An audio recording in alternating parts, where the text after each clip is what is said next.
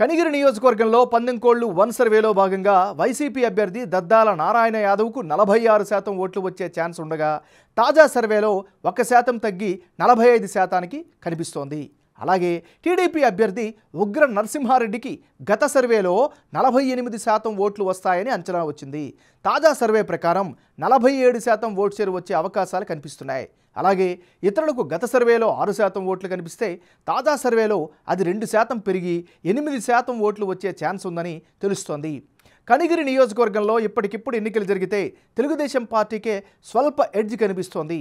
ఓవరాల్గా చూస్తే పోలింగ్ తేదీ నాటికి టఫ్ ఫైట్ ఖాయంగా కనిపిస్తోంది.